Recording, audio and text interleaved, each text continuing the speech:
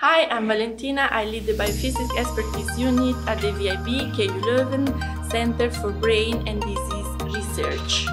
Our biophysics platforms offer support for researchers who are characterizing proteins and studying interaction between them.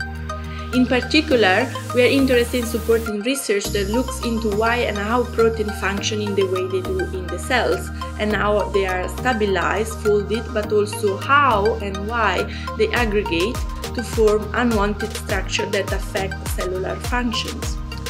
First of all, we have a number of machines that help us uh, characterize the secondary structure content in the protein here we have FTIR that allows detection of protein conformational change in secondary structure in a protein.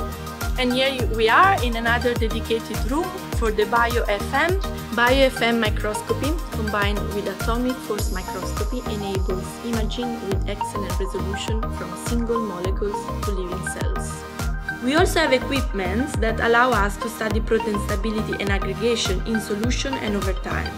Here we have SECMALS, size exclusion chromatography coupled with multi-angle light scattering that allows determination of absolute molar mass and size.